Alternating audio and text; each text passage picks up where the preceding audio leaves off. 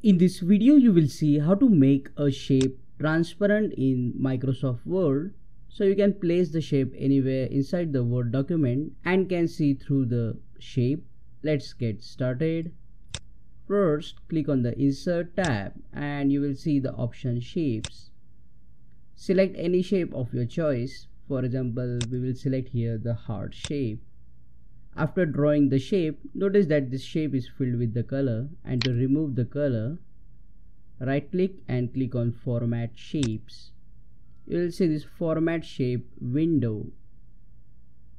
Under the fill, select no fill and these borders are of blue color. If you want to change, you can change it to black under the lines and if you want to increase the thickness under the width, enter for example 5 points to make the outer border darker.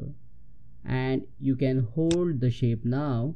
And if you move the shape onto the text or any picture you will see that you can see through the shape because it's a transparent shape. Now check out these useful videos shown on screen. And don't forget to comment below and let me know if this video solved your problem. Thank you